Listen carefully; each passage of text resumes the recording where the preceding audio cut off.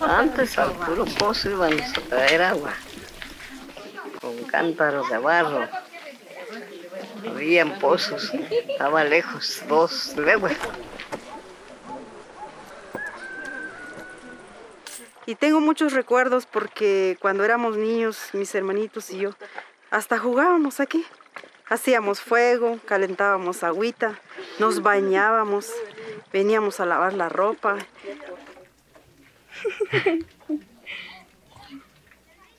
Con los niños cargados, con la canasta de ropa. Se sufría, se acarreaba el agua para dar a los animales. Aquí lavaba yo mi cabeza, me bañaba, lavaba mis pies, venía a dar agua a los borreguitos.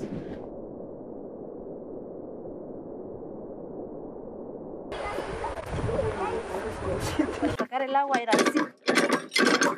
Más que ahora ya no funciona, ya no sale aquí. Pero sí sacábamos el agua.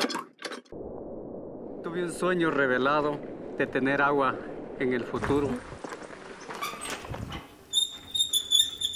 Y debajo de- del tanque esto están los tres nacimientos. De aquí se va para las, las casas.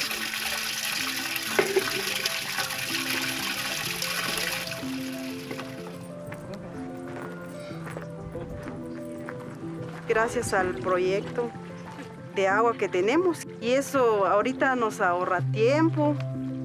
Nos dedicamos más a la familia, a los niños, incluso hasta pasear, porque ya tenemos ese tiempo.